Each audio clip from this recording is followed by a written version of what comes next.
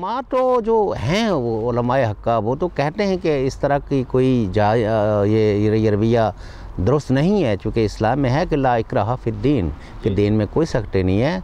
और अल्लाह ताला ने बहुत वाज वाशगा दो टोक पैगंबर को कहा। क्या है पैगंबर तुम्हारा काम है कह देना तुम कह दीजिए और सीधा राह दिखाना ये मेरा काम है। ये मैं हूँ जो पैगंबर बनाता हूँ नेकोकार बनाता हूँ तो लिहाजा मेरी अथॉरिटी है ये। आपका काम है कह देना तो और साथ में ये कहा कि दीन में सक्ट, कोई सख्ती नहीं है। ये वॉल्टियर है तो इसीलिए मैंने जन्नत और दोजक रखी हुई है कि जो गौर व फ़िक्र करके कायनात के इस निज़ाम को देख के मेरी वहदत पर यकीन रखेगा, मैं उसको जन्नत दूँगा। जो ये सब कुछ देखने के बावजूद भी जो है वो सुमन बुकमन रहेगा तो उसके लिए मैंने दोजक रखी हुई है जिसने अपने आँखों पे पर्दा डाला हुआ है, जिसने अपने दिल पे मोर लगाई हुई है। तो कहने का मतलब यह है कि उलमा तो ऑफ़ कोर्स ऐसे जो जो कुरान पढ़ते हैं, उलमा तो वो तो कहते होंगे। लेकिन ये जो लोग हैं ना, जो स्टेट फंडेड हैं, जो जो जो इंटेलिजेंस एजेंसीज़ की जो पैटर्नाइजेशन में हैं तो ये सब कुछ वो करते हैं। ये कोई जमात इस्लामी, मेरा, मैं मैं जमात इस्लामी के साथ, उसकी पॉलिसियों के साथ सबसे बड़ा इख्तराफ़ करने वालों में से मैं हूँ। लेकिन मैं समझता हूँ कि वो भी एवोल्यूशनरी प्रोसेस में इस हद तक चीज़ों को मानते हैं कि ये बंदूक के नोक पर किसी को मुसलमान बनाना या काफर बनाना, ये दुरुस्त बात नहीं है। हाँ पॉलिटिकल इंटरेस्ट जो हाँ उनके हैं तो उनमें वो चीज़ों को सोसाइटी में वो ये सारी इंताब संदियाँ अगर उस अतबार से देखा जाए तो ये तो जमात इस्लामी की गोद से ही ये सारी इंताब संदियाँ पैदा हुई हैं। लेकिन मैं समझता हूँ कि जमात में भी अब एक रवैया, एक रवैये में हम तब्दीली देख रहे हैं। कि भाई हमें असिमिलेट होना चाहिए सोसाइटी में। अच्छा। और अब जैसे डेमोक्रेसी के हवाले से अब उनका रवैया वो नहीं है जो 1960 की डाई में या या उसे 1930 में जो जिस तरह वो सोचते थे। तो अब तो वो कोई फ़िक्र मदूदी से इतने ज़्यादा मुझे इंस्पायर नहीं लगे हैं बल्कि शायद अपने ज़रूरत करके ना कह सकें लेकिन उसको भी अब वो आउटडेटेड समझते हैं और वो समझते हैं कि वो एक कॉलोनियल है था। उस कॉलोनी लहद में वही चीज़ें चलती थी तो लिहाजा उन्होंने भी उसी तरह की बातें की हैं।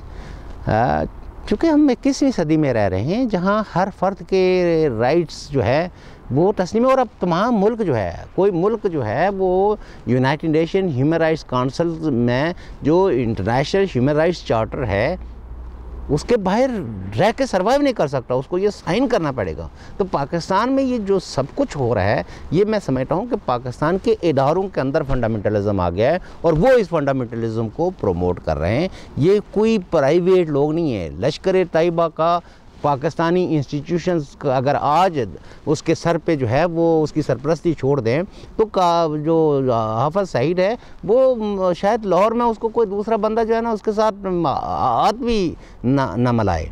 लेकिन चूँकि ये स्टेट्स के लोग हैं, इनके पीछे जनाब दस आदमी जो है ना वो कलाशन कोफे लेके खड़े होते हैं, बीस गाड़ियाँ, इनसे पूछे कोई इनका सोर्स ऑफ़ इनकम क्या है?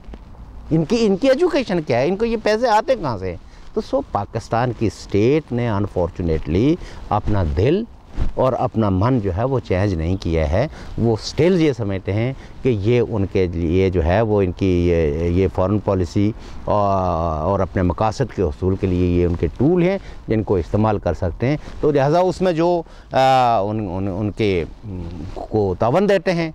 तो उनके जो लीडर हैं, उनके जो बड़े लोग हैं, वो मरहात में, वो अपने, उन्होंने अपनी अपनी लोकल जो है वो बादशाहतें कायम की हुई हैं। इस केव्स में कि गरीबों के बच्चों को जो है वो इस्लाम के नाम पर और ज़ाहिर है कि पाकिस्तान की जैसी सोसाइटी जिसमें बेरोज़गारी बहुत है, फ्रस्ट्रेशन है, हर तरफ़, हर तरह की फ्रस्ट्रेशन है तो उस फ्रस्ट्रेशन में ये तस्वर आप देखिए ना कि कितना हसीन होगा कि एक ऐसा, ऐसे, ऐसा एरिया एक ऐसी जगह आपका इंतज़ार कर रही है, जहाँ दूध की शहरें होंगी शहर होगा, जिस चीज़ की आप ख्वाहिश करेंगे, वो आपको खाने के लिए मिलेगी और फिर उसके साथ आपकी खिदमत के लिए, आपकी तमाम जो जिस्मानी, जिनसी ज़रूरतों को पूरा करने के लिए सत्तर जो है, वो वर्जन हो रहे होंगी। तो इतनी फ्रस्ट्रेटेड माहौल में जहाँ लोग अपने बच्चों को, जो उन्होंने अपने अपने जिगर गोशों को सिर्फ़ रूह और तन के रिश्ता बरकरार रखने के लिए उनको बेचने पे तैयार हैं तो उस सोसाइटी के मसाइल का ज़रा अदराक तो कीजिए।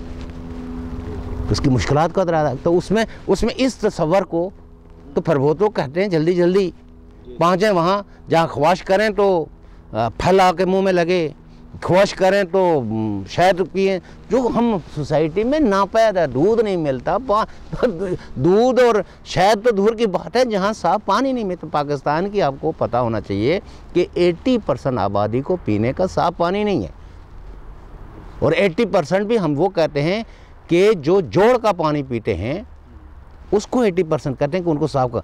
बाकी साफ़ पानी किसको कहते हैं? जो नलके के ज़रिए आ रहा है। फ़र्ज़ करें कि नहरों से या दरियाओं से जो है ना, वो पाइपलाइन के ज़रिए जो घर में पहुँचता है तो उसको प्रिज्यूम कर लिया गया है कि ये साफ़ पानी है। हालाँकि वो साफ़ पानी नहीं होता।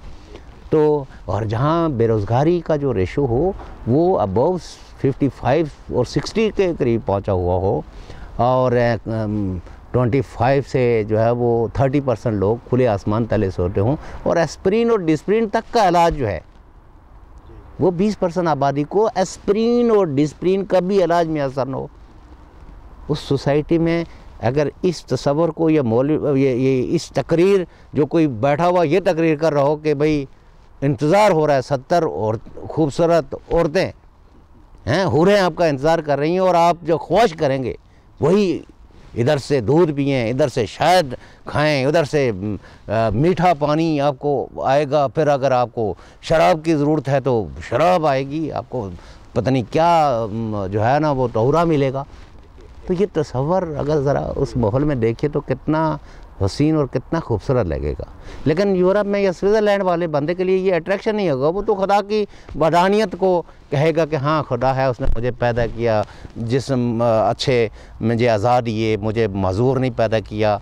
मैं उसको, उसके उसके उसके खल करने पे, उसके शुक्रिया के तौर पर उसके सामने झुकता हूँ। वो कोई जन्नत शन्नत की लालच में तो नहीं, वो करेगा, चूँकि यहाँ उसको ये सारी चीज़ें मौजूद हैं। उसको यहाँ कोई दूध में कोई अट्रैक्शन नहीं है शायद में कोई अट्रैक्शन नहीं। क्योंकि ये यहाँ के आम आदमी को जो है ना मैसर है।